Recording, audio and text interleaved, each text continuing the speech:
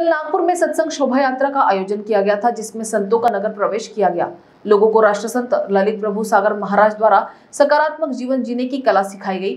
नागपुर के वर्धमान नगर के धनसंस लॉन में सोमवार को भी विशेष प्रवचन होंगे। राष्ट्रसंत ललित प्रभु सागर महाराज ने कहा कि दुनिया में अच्छाइयाँ भी है और बुराइयाँ भी।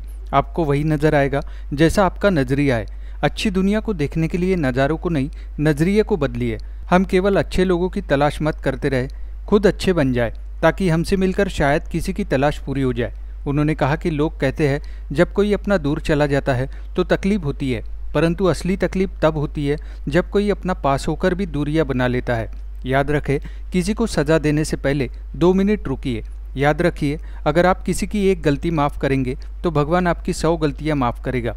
कदम हमेशा संभल कर रखिए और सोच हमेशा ऊँची।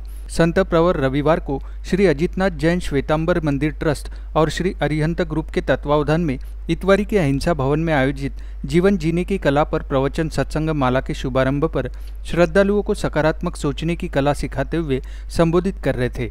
उन्होंने कहा कि एक मिनट में ज़िंदगी नहीं बदलती, पर एक मिनट में सोचकर लिया गया फैसला पूरी ज़िंदगी बदल देता है। केवल किस्मत के भरोसे मत बैठे रहिए। जीवन में योग्यताओं को हासिल कीजिए। मान लिया तो हार और ठान लिया तो जीत। उन्होंने कहा कि जीवन में आगे बढ़ने के लिए आत्मविश्वास जगाइए। प्रवचन की शुरुआत नवकार मंत्र के सामूहिक पारायण से हुई। इससे पूर्व राष्ट्र संतों के इतवारी के करण कोठारी ज्वेलर्स में आने पर श्रद्धालु भाई बहनों द्वारा धूमधाम से स्वागत किया गया। इस अवसर पर सत्संग शोभा यात्रा का आयोजन हुआ।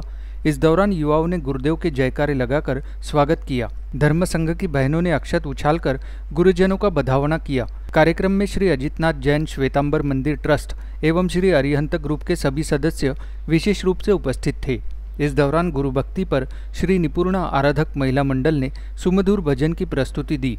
मंच संचालन मनोज कटारिया ने किया और आभार संघ अध्यक्ष सुनील जैन और सुरेंद्र कोठारी ने किया।